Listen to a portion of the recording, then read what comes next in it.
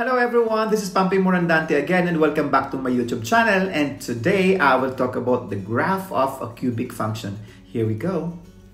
Okay, I have here an example. The table shows some values for the function f of x is equal to x cubed minus 4x. And this is a perfect example of a cubic function. Why? Because the highest exponent of the variable is 3. That's why it is a cubic function. And take note of that.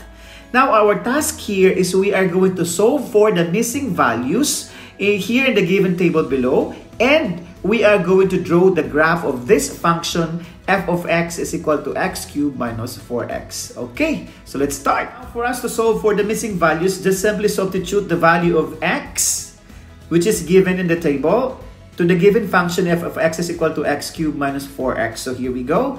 Just look at the procedure. Now I'm substituting the values of negative 2 wherein the value of y is equal to 0 and then negative 1 which is equal to 3 and then 1 which is equal to negative 3 and 2 is equal to 0. So there you go guys. That's how you find out the missing values. Okay?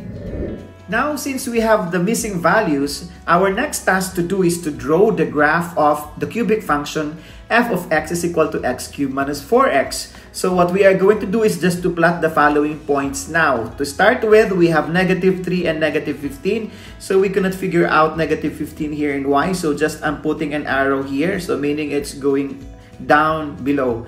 Next one is negative 2, 0. So it's here. So we can just simply look at it here. Now it's in the x-axis, negative x-axis rather you have there. And then negative 1 and 3 there in the second quadrant. Then 0, 0 is the point of origin. And then 1 and negative 3 in the fourth quadrant. 2, 0 in the positive x-axis.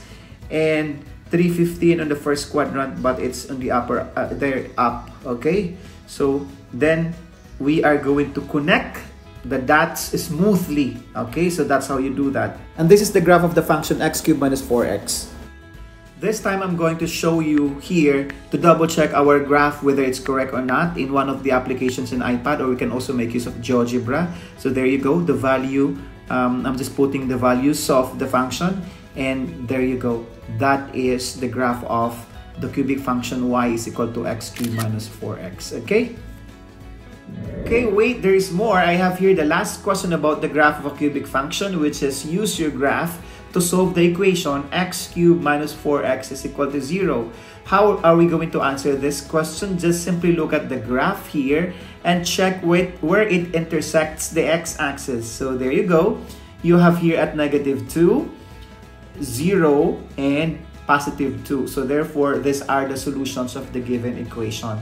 Or we can also just simply solve the given equation by factoring. Okay, just simply factor it, factor x since x is common and then remember x squared minus 4 it's difference of two squares so the factors are the sum and difference. Okay, so there you go. The values of x are 0, negative 2, and 2 and it's the same. Okay, and that's all about the graph of cubic functions. Thank you so much for watching and don't forget to like and subscribe my YouTube channel. Bye!